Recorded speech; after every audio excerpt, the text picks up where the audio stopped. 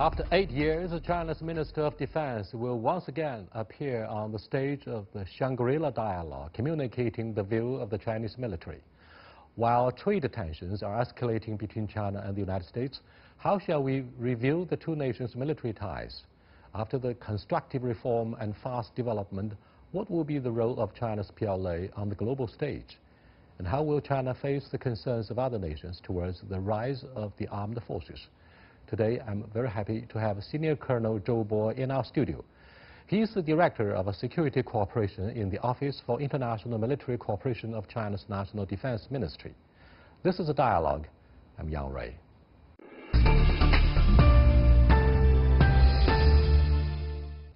Welcome to Dialogue, Senior Colonel.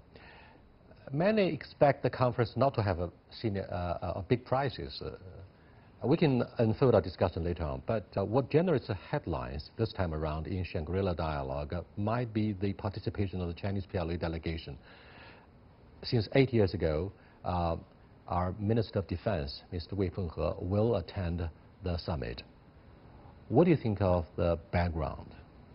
Well, uh, indeed, this is a good question because uh, it's one of the most frequently asked questions as to why China hasn't been sending high-level delegations. Well, actually, ever since the beginning of Shangri-La dialogue, starting from 2002, China has been sending delegations to attend, although at different levels. But uh, I believe uh, this has uh, something to do with the wish of the world and the wish of China, because uh, with the increasing strength of China, uh, people do need to uh, listen to a higher voice, a greater voice of China. And it's also the wish of the Chinese side to have its opinions and views better viewed and aired and listened. Uh, so it's not exactly uh, the seniority uh, of the Chinese delegation that would decide the importance that we attach to this uh, dialogue, but we're happy uh, to let the world know that uh, this time we have, have great importance attached to this summit, and we hope and pray that uh, our voice will be listened carefully. I'm afraid, without exceptions, the U.S. Secretary of Defense will be invited to deliver a keynote presentation at the very first plenary session of the Shangri-La Security Dialogue each year. Uh, what do you think would be the major concerns of the American delegation if we were to hear uh, their presentation at the plenary? Well, I think uh, uh, Pentagon has already announced uh, uh somehow about what he's going to say. Essentially, it's about uh, uh, the American Indo-Pacific concept or strategy. It depends on how they actually describe it.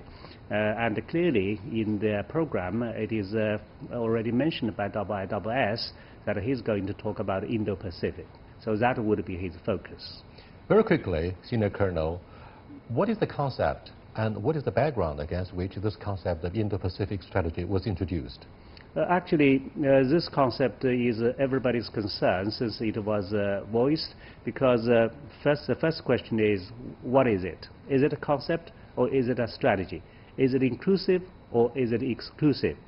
And what is its relationship, taking account the alliance system in the region and taking account that something taking account, uh, for example, ASEAN centrality that everybody, including China and uh, US, agreed to. And because the region is much wider, uh, which incorporates two oceans, so where is the focus? Is it because of China or is it against China? And would the other three uh, countries, India, Australia, and Japan, necessarily follow the United States uh, in forging uh, same objective against anyone or for some reasons? So this is everybody's question. Uh, let's listen to how he would say. But at least at the last year's Shangri-La dialogue, uh, Indian Prime Minister Modi made it clear that the Indo-Pacific is a natural region and this concept has to be open and inclusive. And the Chinese delegation welcomed his comment. Many Chinese observers are clearly aware of the role of neutrality that the Indian government plays since the Doklam crisis, uh, particularly after the Wuhan summit between President Xi Jinping and Prime Minister Modi. Having said this, one of the major issues on the agenda between the two sides, Chinese and American, will be the South China Sea. Uh, do you think uh, waters there remain turbulent And what are the issues of uh, greater concerns, not only for the U.S., China, but also for ASEAN? Uh, some of the claimants, of course, come from ASEAN. Well, you have uh, really asked a lot of questions. In terms of uh, uh, intermilitary relationship between China and the United States, I think currently we must try our best to make this relationship more stable. Because in the past, people used to consider the economy between the two countries is called the so-called balanced. But uh, right now we are having uh, a trade war between the two countries. So, and uh, right now the United States is attacking China on high technological front. So the military relationship, because of sensitivity and because of gravity, certainly is uh, equally important, if not more important. For at least a couple of times, uh, warships from the two navies uh, did have very, very close encounters, very dangerous ones. And therefore, many people are wondering aloud if there is a regular hotline dispute settlement mechanism between the two militaries to avoid having a head-on collision. Yes, we have all kinds of mechanism.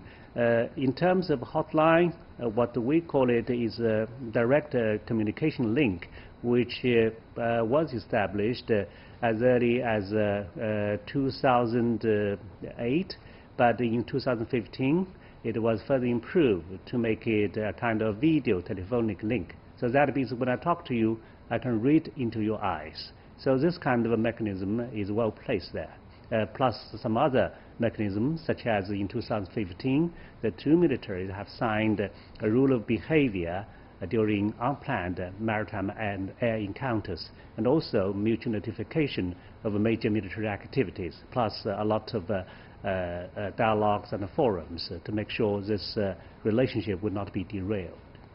I believe the Chinese side must have done a lot of homework to make sure who Mr. Patrick Shanahan, the makeshift Secretary of Defense, is, what kind of personality he represents.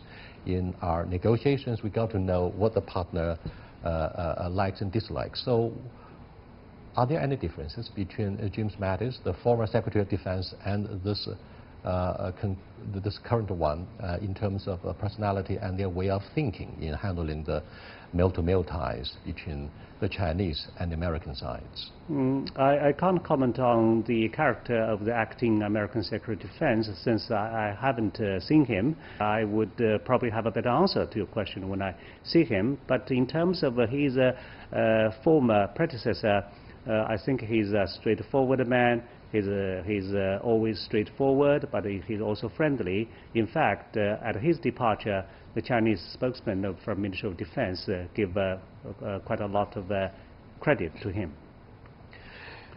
At the Shangri-La Security Dialogue, I believe the most avid observer would be the regional bloc of ASEAN. there will be keen observers to follow the development on major issues. So what are uh, major concerns of uh, the 10 member states of ASEAN concerning security cooperation in this particular region? I think, first of all, they think about their own role in the region uh, because uh, they have uh, put forward ASEAN centrality, which was first endorsed by China and then by other major powers, including the United States.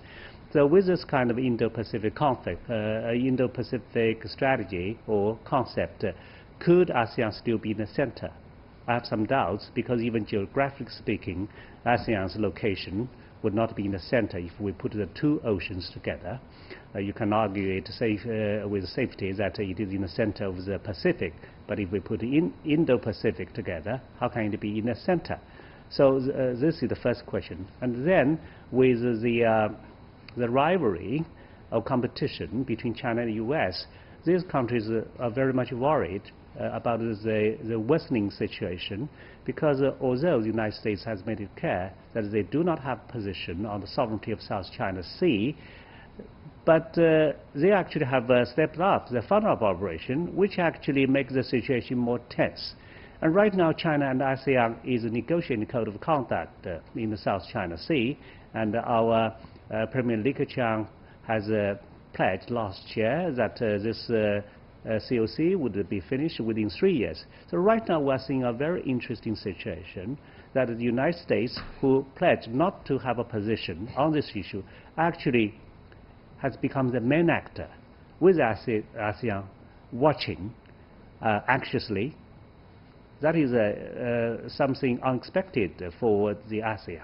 Senior Colonel, it seems China's diplomacy in the South China Sea has been pretty successful if you look at the very constructive attitude of President Duterte of the Philippines, uh, who agrees to engage China in a security dialogue and therefore the bilateral relationship between Manila and Beijing has improved dramatically over recent years. However, with the uh, sharp change in the American attitude, um, the Trump administration towards South China Sea geopolitically, do you think the Manila government is coming under huge pressure and there would be changes as a result in their uh, negotiations with China on the South China Sea? Uh, I hope not, because China's attitude toward uh, uh, Filipino government is uh, quite clear. Uh, with the previous government, we have some problem because they sued us uh, at the international tribunal.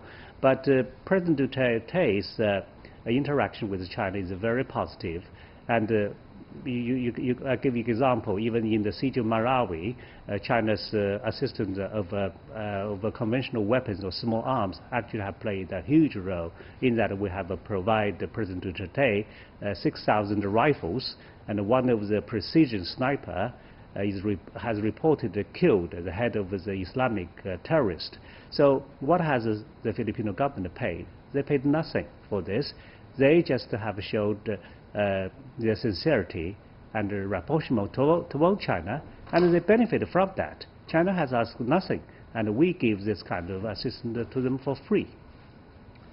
You are watching Dialogue with Zhou Bo, uh, who is in charge of the uh, uh, security cooperation in the Office of, uh, for International Military Cooperation of China's National Defense Ministry. We're discussing what would be major issues on the agenda of the Shangri-La Security Dialogue, particularly the prospects of the mil-to-mil -male ties with the Pentagon. Stay with us. We'll be right back.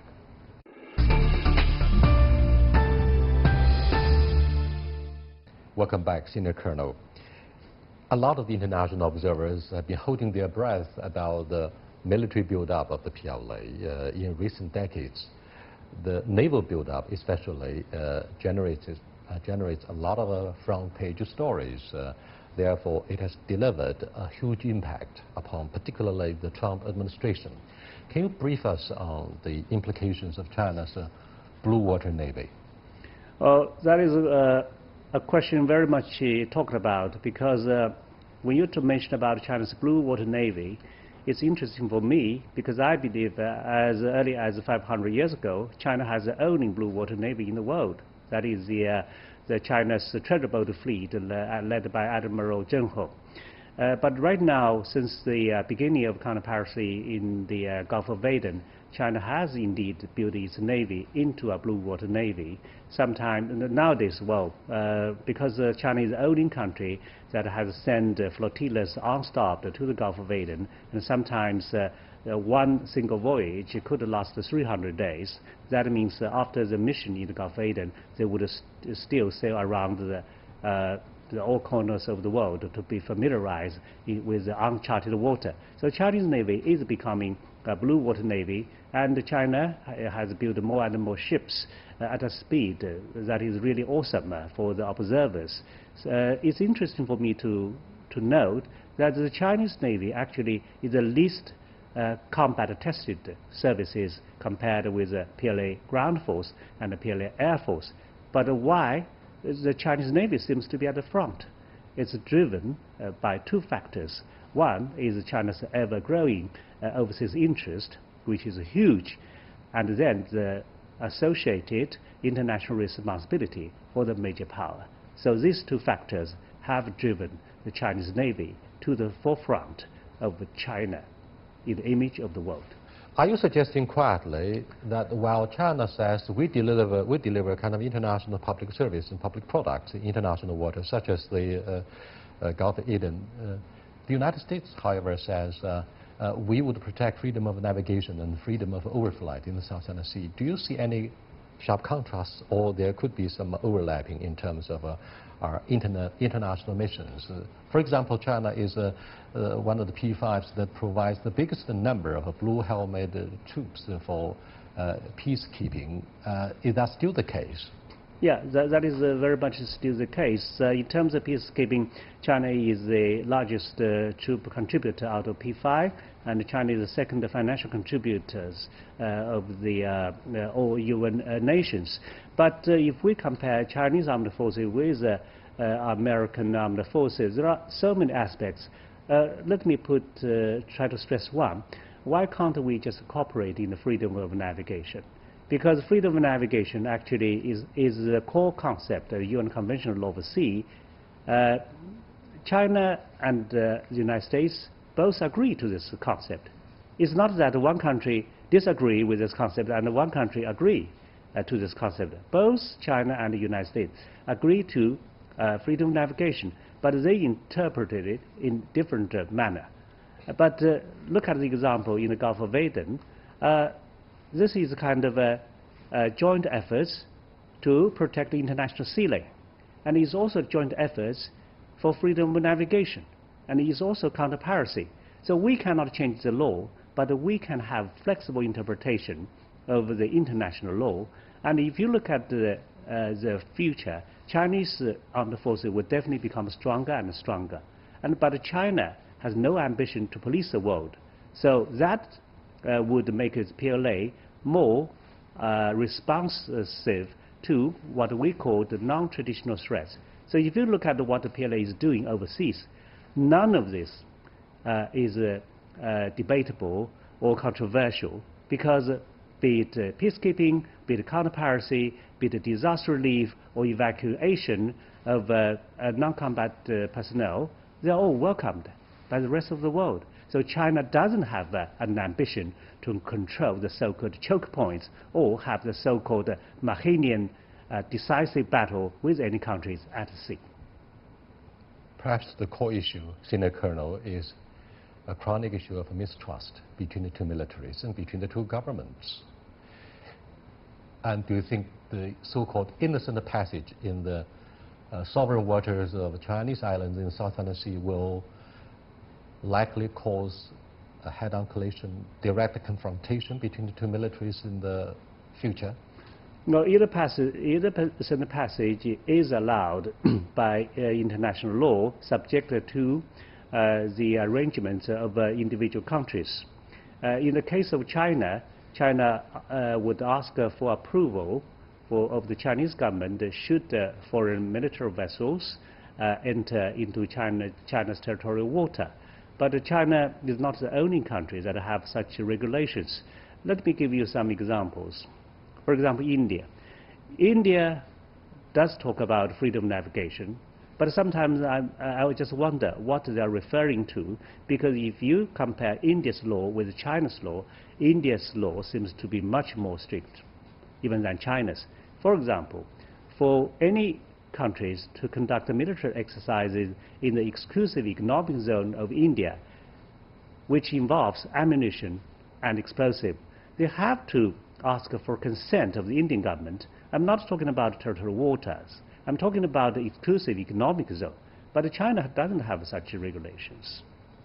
Yeah. Look, let's look at the security concerns in other areas. For example, uh, fighting terrorism and extremism in Central Asia. What do you think of the role that SCO, Shanghai Cooperation Organization, has played in ensuring peace and stability in this heartland of the Eurasian continent?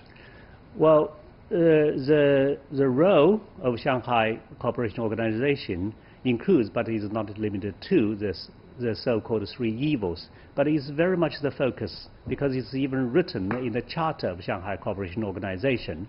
Uh, so far, I believe all these countries are making efforts in that all the exercises done within Shanghai Cooperation Organization are held in the name of counterterrorism.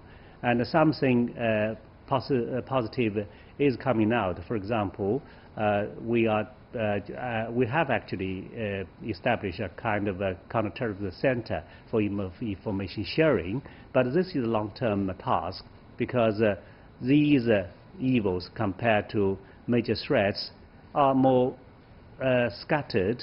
They are not necessarily obvious, therefore it is more difficult to tackle. But given the large size, the sheer size of Shanghai Cooperation, I would argue if uh, all these countries can make efforts to make the, the region within their own boundary safe and stable, then it's already a huge contribution toward the peace and stability of the world. Despite intensive discussions, if not debates, policy debates between the Pentagon and the White House on the military drawdown in both Syria and Afghanistan, um, the, the, Chinese stand ready. The Chinese stand ready to assist with the post-war reconstruction. Can you tell us the role of PLA in maintaining peace uh, in these two countries? Well, uh, in terms of, uh, first of all, uh, with countries in, in the Middle East, we always have a very positive attitude. And in terms of military relationship, China has provided some logistic assistance uh, to Syrian government uh, a couple of years ago, no, uh, I think about three or four years ago. Uh, in terms of our relationship with Afghanistan, because uh, again, Afghan is uh, one of our neighbors, so we have a normal country-to-country -country relationship, and also we have been providing them some kind of military assistance in terms of training, for example. Lurking behind all these developments, Western observers uh, pay particular attention to the very special, close strategic partnership between Moscow and Beijing We, both sides, Russians and Chinese, agree not to forge any military alliance. However, the powerful partnership between Moscow and Beijing does uh, keep the U.S. on the watch, keep the rest of the world on the watch as to what can be done jointly by the two militaries. Can you tell us more about the implications of what we call in Chinese 结伴不结盟? Well, yes, you have made it quite right that China and Russia, in spite of a close relationship, are not allies. And we have uh, uh, reiterated this, uh, both China and Russia did. Uh, this relationship is close in that both countries share similar views about uh, multipolarization of the world. And in part, it's also driven by uh, common pressure from the West. Uh, I, I, would say, yeah, it is a, a kind of a, a reason uh, we were driven uh, by a certain kind of common pressure. But uh, this relationship won't go beyond partnership in that this is not in our interest and this is not in Russia's interest. So uh, we have uh, witnessed a very interesting relationship when the, when the two countries are really close but are not, not necessarily allies. Many joint military maneuvers have been conducted by Moscow and Beijing in recent years. Uh, do you think these uh, uh, war games uh, target any third party? Uh, well, they would. Uh, it's interesting because almost all spokesmen of, on any military exercises won't say it is against anybody. But it is true that China and Russia have almost conducted exercises on annual basis because uh, uh, China actually uh, didn't have exercise with any other countries before 2002. Uh, but it's uh, after 2002, starting with Kyrgyzstan, we started bilateral exercises with foreign countries. And then we have a, a multilateral exercise uh, with Shanghai Cooperation Organization, and now a lot of bilateral exercises with Russia. This uh, is interesting in that this is a, a kind of a institutionalized exercise, and with uh, each exercise, we seem to have found some new areas each time. For example, in the uh, joint naval exercise this year in Qingdao, both sides uh, have made joint efforts to rescue a submarine, a, a hypothetical submarine at uh, accident. Uh, this is highly technical demanding, and it shows the depth of our relationship and China and Russia have also conducted two war, uh, computer-assisted war games uh, for missile defense. This, of course, is not something tactical. It is strategic uh, cooperation. This shows the depth of our relationship. Uh, towards the end of this uh, very interesting program, Senior Colonel, uh, it seems that there, both sides, Tokyo and, and Beijing, have kick-started a process of rapprochement following the alleged purchase of Diaoyu Islands back in 2011. Uh, do you think uh, uh, this relationship will benefit enormously from the momentum uh, that will be shored up during the summit meeting between uh, Prime Minister Shinzo Abe and President Xi Jinping that will be taking place on the sidelines of the G20 in Japan this year around. Well, I think uh, as a result of the improving, uh, as a result of the improvement of, uh, of the relationship at the state level, the intermilitary relationship has also improved tremendously. Uh, for example, China and Japan signed uh, a mechanism to avoid uh, miscalculation in air and at sea last year in 2018. The agreement itself is not very long, but it took both sides 10 years. So with this kind of a mechanism in place, hopefully the situation around Diaoyu Island will be managed. Thank you very much, Senior Colonel, for being with us. That's the end of this edition of Dialogue ahead of the opening of the Shangri-La Security Dialogue, an annual security uh, mechanism that is uh, most important following the Munich Security Conference in Europe. I'll see you next time. Until then, goodbye.